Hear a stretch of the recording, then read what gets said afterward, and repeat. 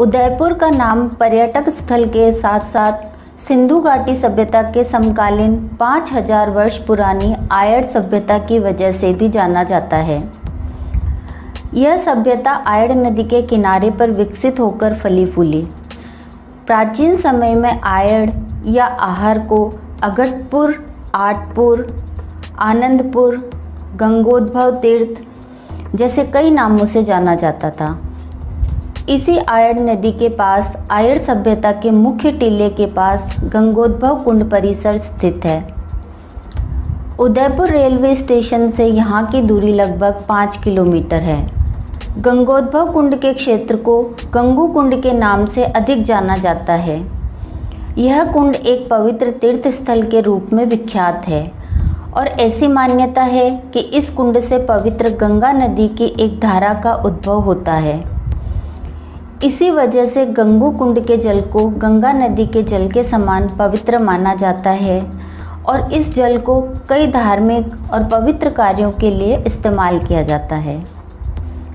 शिव महोत्सव समिति द्वारा प्रतिवर्ष गंगू कुंड से उबेश्वर महादेव के मंदिर तक 21 किलोमीटर लंबी कावड़ यात्रा निकाली जाती है।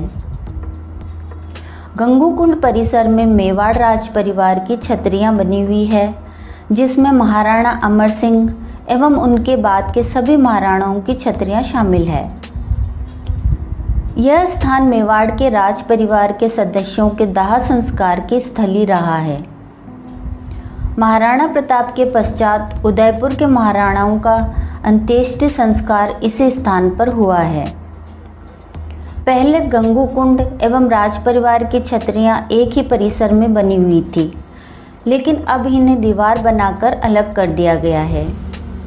राज परिवार के सदस्यों की छतरियों वाले स्थल को महासतिया के नाम से जाना जाता है और इसमें जाने के लिए अब अलग से द्वार बना हुआ है। अभी भी गंगू कुंड परिसर में कई छतरियाँ मौजूद हैं, जिनमें मेवाड़ के सामंतों एवं उनकी पत्नियों की छतरियाँ प्रमुख है। गंगू कुंड आयताकार आकृति में बना हुआ है। और काफ़ी बड़ा कुंड है, जिसमें पर्याप्त मात्रा में पानी भरा रहता है। कुंड में नीचे उतरने के लिए तीन तरफ़ सीढ़ियाँ बनी हुई है। कुंड के बीच में एक छतरी नुमा आकृति बनी हुई है, जिसमें शिवलिंग स्थापित है। कुंड में चारों तरफ़ प्रचुर मात्रा में मछलियाँ तैरती दिख जाती हैं। गंगू कुंड के निकट ही दक्षिण दिशा में निचली भूमि पर एक परकोटे युक्त परिसर में शिव मंदिर समूह बना हुआ है। इस परिसर में गणेश जी, हनुमान जी के मंदिरों के साथ साथ कई छोटे मंदिर बने हुए हैं, जिनमें कुछ में शिवलिंग मौजूद है। मुख्य शिव मंदिर को 950वीं शताब्दी में मेवाड़ के गुहिल वंशी रावल अल्लट ने बनवाया था। यह शिव मंदिर शिखर, गर्भगृह एवं स्तंभ युक्त सभा मंडप से युक्त था। वर्ष 2019 में मरम्मत के अभाव में मंदिर का शिखर एवं गर्भगृह का ऊपरी हिस्सा ढह गया। सभा मंडप सुरक्षित है, जिसमें पिछले एक हज़ार वर्षों से चतुर्मुखी शिवलिंग विराजित है। मंदिर के गर्भगृह की तीनों दिशाओं में तीन प्रधान ताकों में तीन मूर्तियाँ स्थापित थी, जिनमें पूर्व में हरिहर, उत्तर में चामुंडा और दक्षिण में लकुलिश शामिल है। यह मंदिर दसवीं शताब्दी की शिल्पकला का एक बेहतरीन उदाहरण है। मंदिर के निकट ही एक प्राचीन कुंड बना हुआ है, जो गंगू कुंड से काफ़ी छोटा है। मंदिर के सामने की दीवार की ताक में एक और शिवलिंग विराजित है, एवं दीवार में कई जगह कलात्मक मूर्तियाँ लगी हुई है। मंदिर का कई बार पुनर्निर्माण एवं जीर्णोद्धार होने से इसमें कई परिवर्तन आसानी से दिखाई देते हैं, जैसे इसकी पीठ का दब जाना, सभा मंडप के स्तंभों एवं बैठकियों के आकारों में विविधता आदि।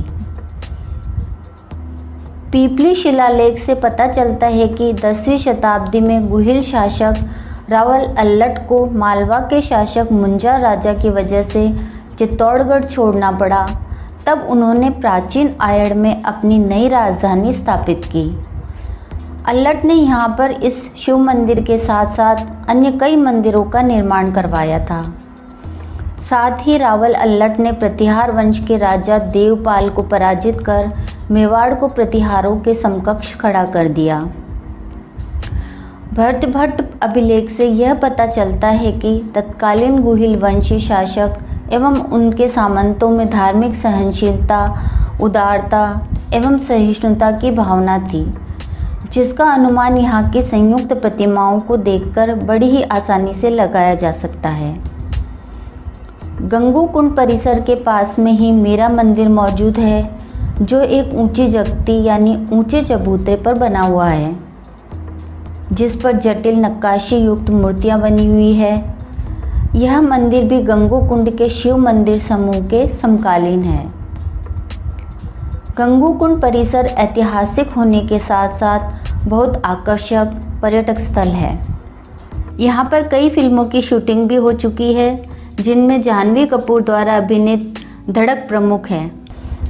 जब भी आपको उदयपुर घूमने का मौका मिले तो आपको गंगू कुंड परिसर में जाकर अपनी विरासत को करीब से अवश्य देखना चाहिए।